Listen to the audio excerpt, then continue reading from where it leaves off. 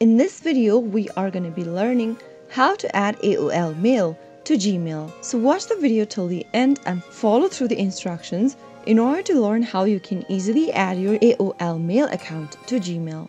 Open up a web browser and log into your Gmail account. Type in mail.google.com and press enter on your keyboard to end up in the official site for google.com mail. Now also make sure to log into your account once you're inside.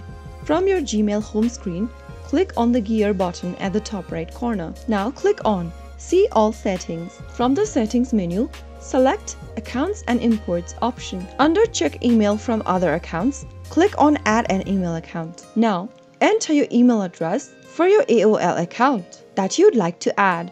Make sure to type in your email for your AOL account and click on the Next button. Select Link Accounts with Gmailify. Now click on the Next button and agree that you will allow Gmail to access your account information by clicking on Agree. Soon after you do that, you will be able to add AOL Mail to Gmail. You can now close this window and you have successfully added AOL Mail to Gmail in just a few simple steps. That is how it's easily done. If you found the video to be helpful, go ahead and give us a thumbs up. Don't forget to subscribe to our channel by hitting the subscribe button.